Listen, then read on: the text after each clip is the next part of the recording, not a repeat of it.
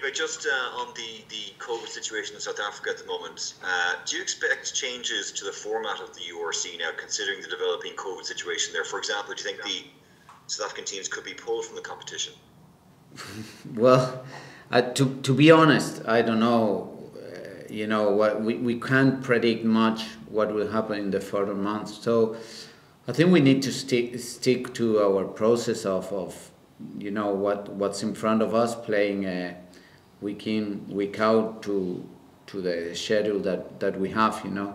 Um, obviously, I, we, we are concerned for us that the, the main the main thing is the health and, and safety of, of players and obviously everyone involved in the game. So uh, whatever has to be, it has to be. You know, we leave that those decisions to to the people that need to take those decisions. But um, and obviously we wish, uh, hopefully, everyone that is involved at the moment in in those sort of, of problems or that uh, we wish them well to to hopefully recover and, and, and get back soon and, and so on. But um, yeah, we do. We, we just we now we can focus only only the only thing we can do is focus on on uh, on the game uh, at the weekend on Friday against Connacht and then and then hopefully kicked on the European campaign.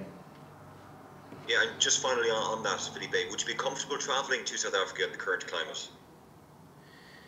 Well, if we have to travel, okay, if we have to travel, it will mean that there's this, like the people that will allow us to travel, they would have put the safety and, and health, the safety and health of, of us in, in front of anything, you know. So um, if we are asked to, to travel and, and, and it's all cleared and so on, yeah, I have no problem on doing it it's it's it's just a, I think it's it's it's such a delicate situation that no one will put on risk any any of us. So we we just focus on what we have to focus. That is uh, training and trying to get better every day. And and the people that are in charge of making those decisions, I, I'm sure, and I have the full confidence that they will make the best decision in terms of, of again healthy and safety of, of everyone. You know.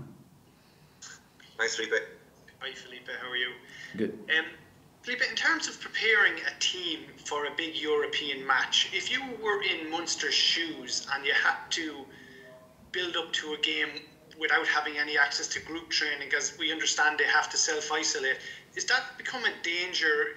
I mean, do you think Leinster or whatever team should ask would ask for a postponement in the event of not being able to collectively train before a big match?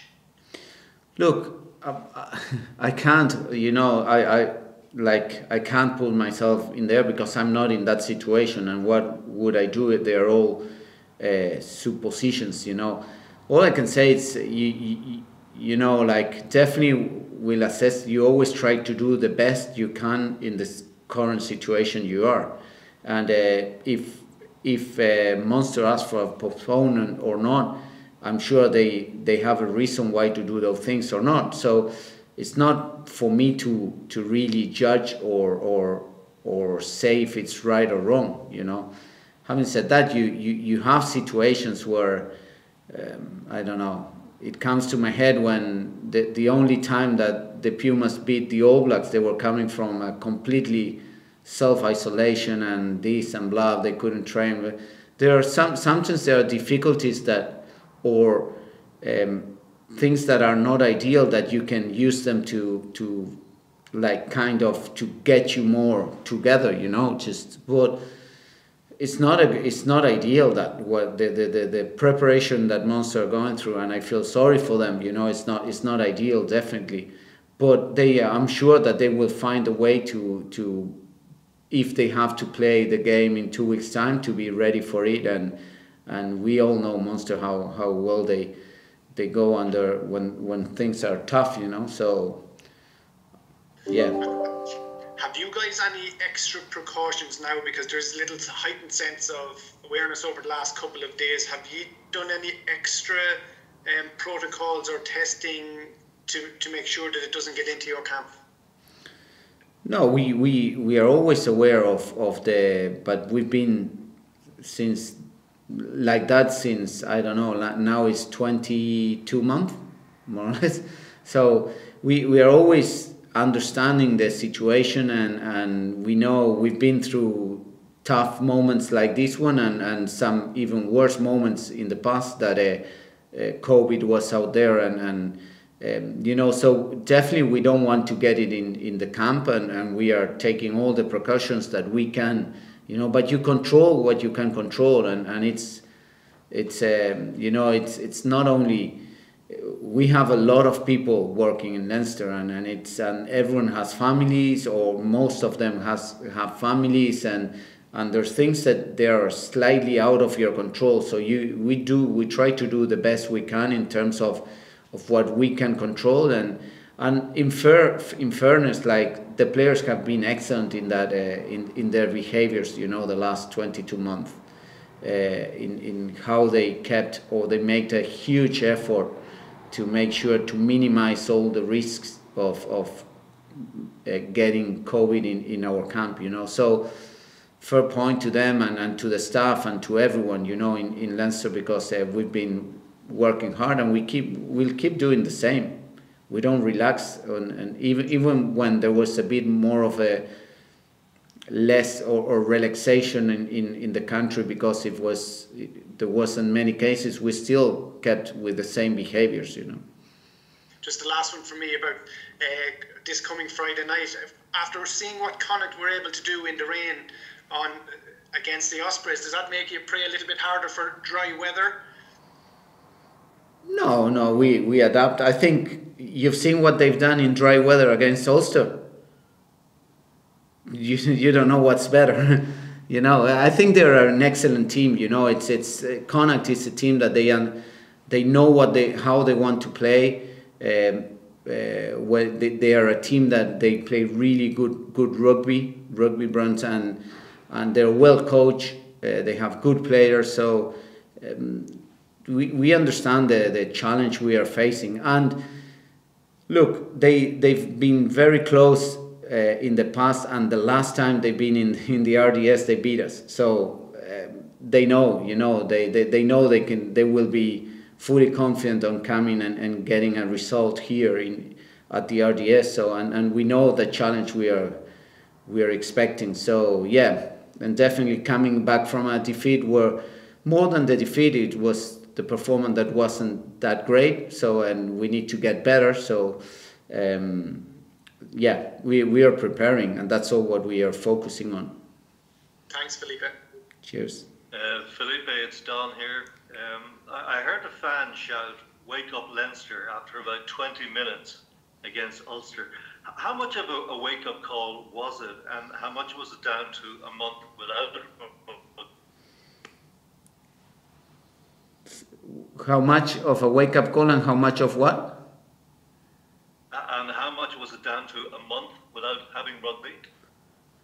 No, no, we don't want to put any excuses. Uh, Ulster has been a month without rugby too, and they were really good. You know, we don't we don't find those or we don't put that to an excuse. I think I think we weren't good enough. Um, uh, on the day and, and to to be fair like it wasn't something of an attitude i can see i can i could see the guys trying hard and so on but uh, we weren't accurate um, in many phases of the of the of the game and and and i think ulster were uh, the better team on the day you know and they well deserved the the, the victory so uh, yeah it's something definitely it's a wake up call in terms of of, of everything for us, but but also it's um, it shows how competitive is, this league is, is going as well. You know, um, uh, there's teams that they anyone can beat anyone. You know, and, and and I think it's it's part of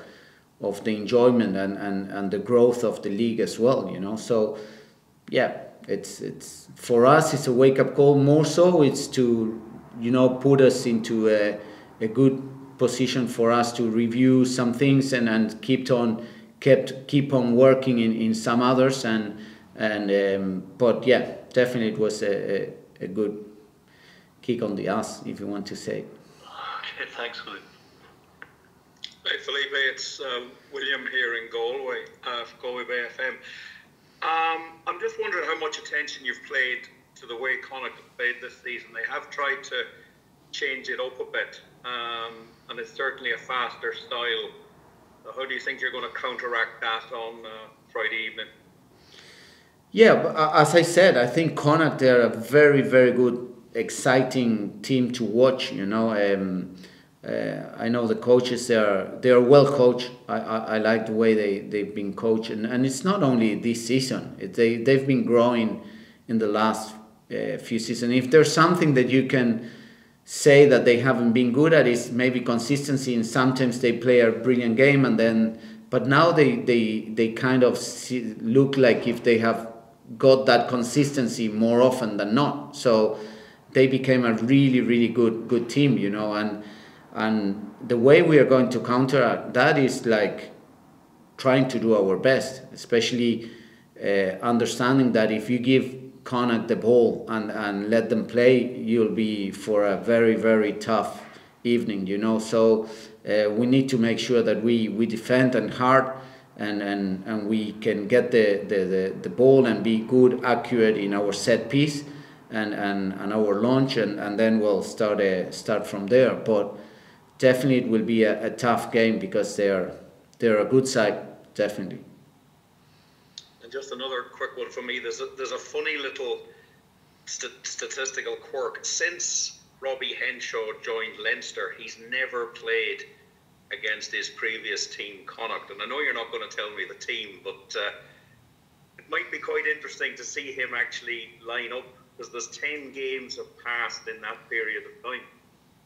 Yeah, it's good because it, it, always comes to uh, some statistic that you haven't even had. I, I didn't even have a clue it was like that. Um, well, if, if he's if, if he's involved, I think it's a it's a good challenge for him as well. You know, it, um, to play against his old club and, and so on. But um, yeah, we we're more focusing in the whole than than in just one or two players. You know, in terms of um, yeah, I'd say if he plays, it will be a, maybe even a special moment for him. But but we now have to focus in, in what we can do and uh, and and concentrate on how we can beat Connacht. You know. Thanks, Felipe. Appreciate it. Cheers. Uh, hi, Felipe. Um, Harry Byrne, he hasn't really got much time this season. Obviously, he's just coming back, and he was in with the Ireland camp and had a cameo there at the weekend. Just uh, what do you what do you make of the limited time he's had this season, and uh, can we expect to see more of him over this ten this ten week block? A lot more of him, like. Yeah, well, sometimes it's it's the way it is, you know. Like uh, if you if you have uh, some injuries, he's been very unlucky in terms of injuries, and he picked up some um, uh, strange injuries in the in you know through through the, but but I think yeah, he's he's now fit and and he's been in the Ireland camp for for the for that for the last month, and now he's with us for last week and this week. So yeah, yeah uh, hopefully he can have more games, you know, or more time game time. Um, but it's about him more than that is getting ready and feeding and, and fit and, and making sure that he's he's preparing himself for success you know so and that's what we are trying to do trying to set set him up for for being successful. So hopefully yeah hopefully he can he can improve and take it the, the experience he's getting also in at international level or more at international training. And it's always important to be in the you know at, a, at an international camp because uh, you learn so much from such uh, good players so hopefully he can bring it uh, in, in, into Leinster and, and keep building his, his game, you know. And uh, just on the number 12 at the weekend, Ciarán Frawley, who can seemingly play anywhere along that back line. He had a he was probably the brightest spark at the weekend with his you know his line breaks, his runs. He was he was very lively. Just uh, just how do you, how do you make of him? Well, sorry, what do you what do you make of him? You know, uh, just his his growth over the past two years and obviously become being a de- development player for a week with Ireland in the last month. Just do you think he's just on, on the right path? Yeah, definitely, he's on the right path. I think he's he's seen it week in week out, uh, training with us, and it's a great joy when he's been called for Ireland, you know, and and and, and again being even being involved in that in that month with training with all those uh, great players, it's in that setup, you know, it's it it can only do him better, you know, and, and help him. So hopefully he yes he's developing well. I, I think his his his growth has been uh, huge in the last two years, and, and he's still a lot more to go, you know, a, a long way to go. So, yeah, I, he's enjoying his rugby, and that's the most important thing, you know. And hopefully, he can he can play a lot for us, yeah, in the coming weeks.